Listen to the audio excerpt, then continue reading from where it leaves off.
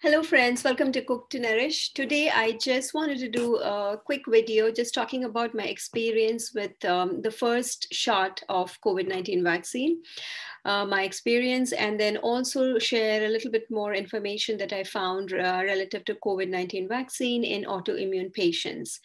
Um, all right, so to begin with, um, so I first, um, I mean, I had my first shot on um, last Sunday and um, I did not have uh, any pain uh, at the injection site, which is surprising because you know a lot of people uh, do experience that. I did not have any, absolutely any pain at the site of injection. However, I did experience an autoimmune flare about six hours after I got the shot and this is my first shot right so around after six hours my knees both my knees begin to feel a little bit strange and stiff and then within you know a couple hours which would be like around eight hours from when i got the shot my knees were completely inflamed. They were so bad that i had trouble walking around and i had to be um, in bed uh, for the next like 12 hours because i had really trouble walking. It was very very inflamed. Uh, however, I did not take any uh, pain medication. I did not take any NSAIDs, um, you know, paracetamol or um, ibuprofen, and I I just went to went to bed and took rest, drank lots of fluids, and then after 12 hours or so, it began to wane. The, the stiffness began to go, the inflammation, you know, like it was like tender to touch and very painful. All that began to subside on its own.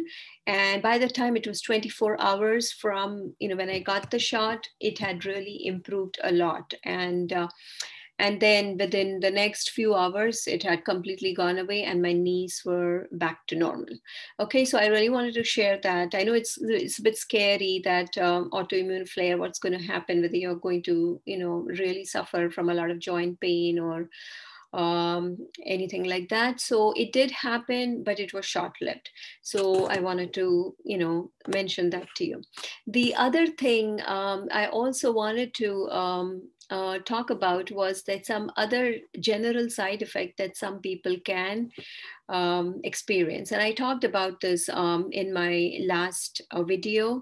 Uh, so definitely refer back to all the side effects, but I also wanted to share something, something else. So basically, I wanted to talk about um, a general um, side effect of dizziness that some people have after taking the shot. And um, I wasn't really aware of this, that this happens. And um, it was brought to light when I went to take my shot, and there was a lady, you know, just ahead of me uh, who had taken a shot and was waiting for the 15 minutes, and she actually um, fainted so that was like uh, you know a little bit scary for me and that's why i wanted to i went back and then i researched and i talked to my pharmacist friends who have been administering vaccines from a long time and what they told me was this kind of dizziness after taking the shot is not unique to the covid vaccine. It is actually it happens across you know all vaccines. It is a reaction called as vasovagal uh, syncope and syncope is nothing but fainting and that is triggered by your blood vessels dilating.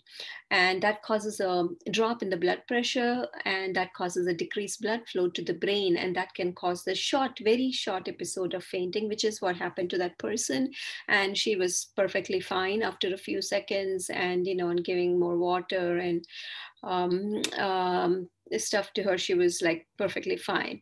Uh, however, you know, there have been now people are worried when they see things like that. So I just wanted to mention that, that this, this is not unique to COVID vaccine or not, not, nor is it you know, like a common thing that happens in autoimmune patients. This is just general for all. And then anxiety, if you're very anxious and dehydration and all those things can, uh, and if you've not eaten anything like low blood sugar can trigger this kind of a reaction.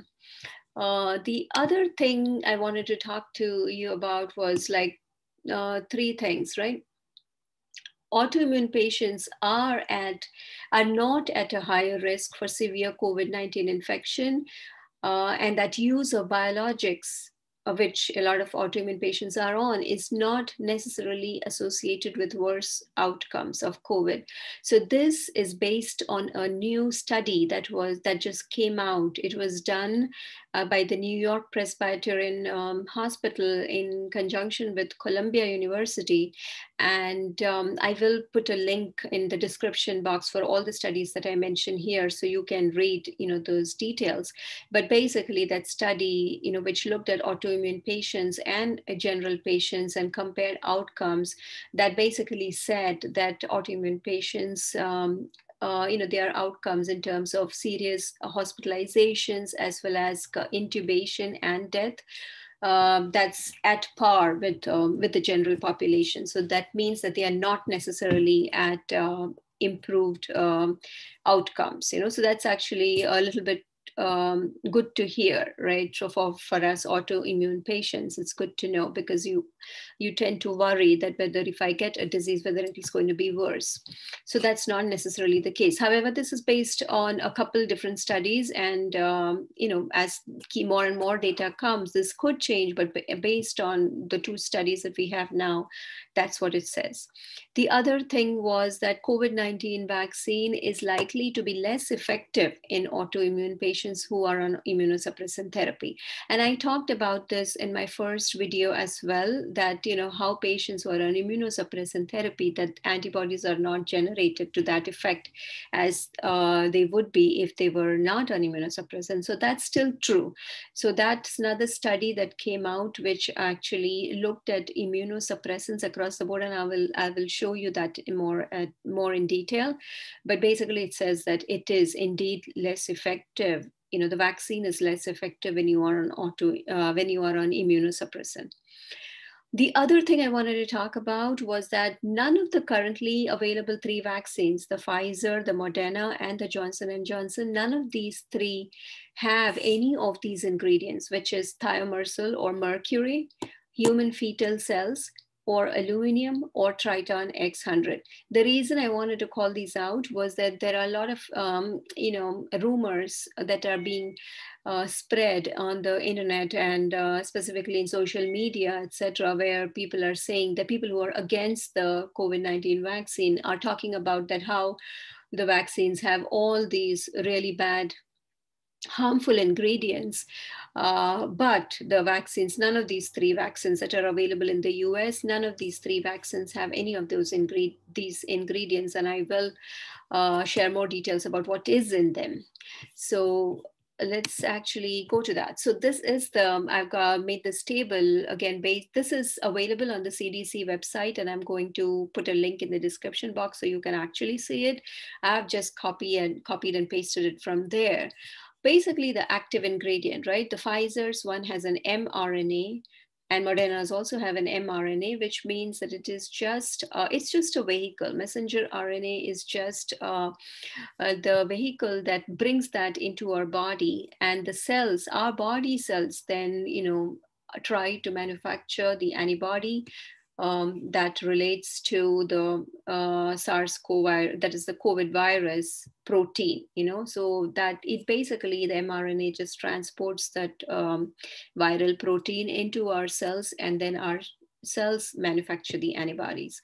For J&J, the only difference is it's not the messenger RNA, but it is an adenovirus, which is a type of virus like the common cold virus, uh, which is the vehicle to transport. And again, it does the same thing. It instigates our body cells to manufacture the antibodies against those, um, the viral protein.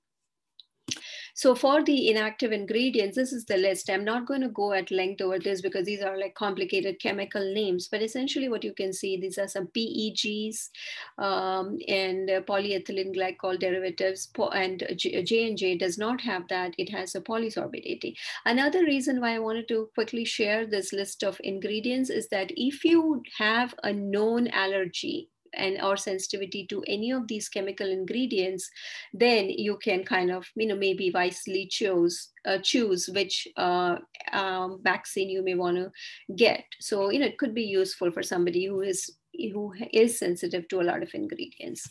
So take a look at this chart and I'll also put a link in the description for the detailed article so you can really look at it.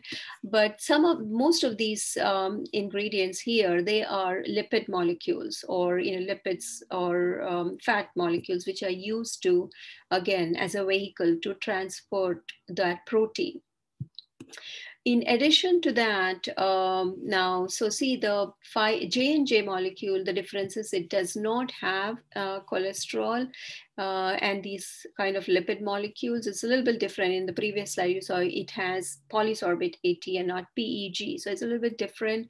And, um, and it has cyclodextrin, which is another long chain molecule. Uh, but, you know, there are some slight differences here and there, but essentially the job of all these ingredients are to, you know, either to transport as a vehicle or as stabilizers so that a formulation remains stable. Um, and then there are also some preservative kind of ingredients like now uh, the pfizer one has sodium chloride j&j also has sodium chloride. Moderna does not have that. J&j has ethanol. So if some people are really sensitive to even small amounts of ethanol then that could be an issue. And then these are rest of the ingredients. These are all like stabilizers and and or preservatives um, so there's it. But you know, I had heard rumors that which said that uh, Johnson they that Johnson and Johnson's is a better one because they don't have mercury, and the other two have mercury. So that's the one that actually started me to look into it. And you know, as you can see here, none of these have mercury. So that was obviously not um, you know right information. So there's a lot of misinformation out there, but you know, just educate yourself. Um, one thing I will say is that some initial reports do suggest, and this was uh, from the New York Times article that I read, it says that the J&J one, you know, based on initial reports, just say that they have fewer side effects. Another reason they could have fewer side effects is, or one reason they could have fewer side effects is because they have, um, you know, just one dose. Uh, because for both Pfizer and Moderna, the brunt of the side effects or adverse effects occur in the second dose. And because J&J does not have that, maybe it's less. So who knows? But that's the initial um, uh, reports as of now. The other thing quickly, I just wanted to talk about two studies, which I already mentioned on my first slide, that, you know, the immunosuppressants, when you are on immunosuppressants, uh, it dampens the vaccine's efficacy. That was one premise that I talked about in my first um, uh, video. And now there are some preliminary study results that are available from um, the study that was done by John Hopkins. Again, this is preliminary results based on just the first dose of the vaccine and what they they you know measured people uh, they followed people on immunosuppressants. But remember the immunosuppressants that they were using in this study or they were looking at it uh, at in the study are the strong immunosuppressants like mycophenolate tacrolimus corticosteroids. And these are some of the strong immunosuppressants that are used in organ transplant patients. So these are different from the immunosuppressants commonly used in say ra patients, right? So methotrexate and um, um, hydroxychloroquine, those are the ones that are commonly used in um, RA patients, but those were not studied here. These are very stronger immunosuppressants. However, the, it does suggest that the antibodies decrease when uh, you know the antibodies to the COVID vaccine are reduced when people are on immunosuppressants like that. Uh, so what that means is that people immuno you know autoimmune patients who are on immunosuppressants even after they take the covid-19 vaccine they are at a little bit higher risk for again being infected with the COVID 19 uh, virus because their efficacy of the vaccines is reduced. Okay, so we talked about this in my first uh, video, but I just wanted to talk about the study. And one last thing I wanted to talk about was that um, COVID 19 long haulers. If you don't know what this term means, long haulers are people who get the COVID-19 vaccine, but, uh, and they, you know, come out of the acute phase, that is in all the fever, chills and all the immediate effects, they come out of it. But their body you know tends to they keep suffering some of the long term effects which are like very bizarre and strange kind of symptoms anywhere from headaches random headaches to fatigue uh, to neurological um, you know symptoms. So those are uh, people who are called as long haulers. And it was seen um, that some uh, in study um, a recent study um, which looked at COVID 19 long haulers who took the COVID 19 vaccine, actually saw some positive results where it actually showed that people who were suffering all these long term side effects from the COVID 19 infection, once they got the COVID 19 vaccine, and after they were done with like their full immunization you know both the shots then they began to experience um, a reduction in all those symptoms that they were seeing that was like related to long covid or you know long term side effects of COVID, they all began to go away after they had the COVID 19 vaccine. So I think that's very promising. And uh, it was reported from, you know, people across the country who were, you know, suffering that way with long COVID. Uh, and uh, the began, the symptoms began to resolve as early as even the first dose of the COVID 19 vaccine. All right, so that's it. Uh, I hope this information has been useful for you and good luck.